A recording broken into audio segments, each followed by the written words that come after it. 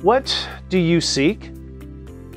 The need for us as humans to seek after something is a reality which is seen around us, felt within us, and evidenced even by neuroscience.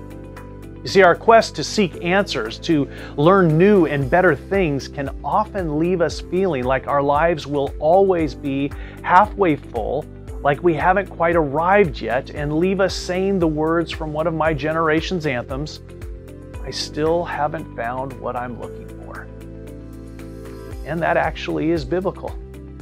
In Colossians 3, we are called to such searching. We read, Since you have been raised to new life with Christ, set your sights on the realities of heaven. That word set means to seek after, to look for, or strive to find. And the scriptures are full of examples of this kind of striving for people, places, things, and conditions. So don't give up seeking. But rather, this verse tells us to adjust our search away from this world and instead set our sights and our search on the things of heaven. Whenever we focus on the things of this world as the fulfillment to our souls, we will remain deeply unsatisfied.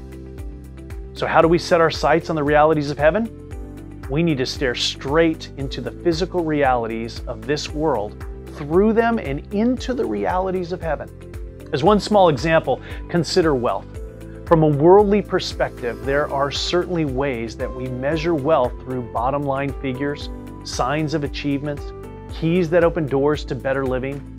Yet the reality of a heavenly perspective clearly shows that striving for worldly wealth is temporal. As the phrase says, you can't take it with you. Instead, be rich in love, righteousness, sobriety, truth, and hope. These are things that are daily investments which will have eternal dividends.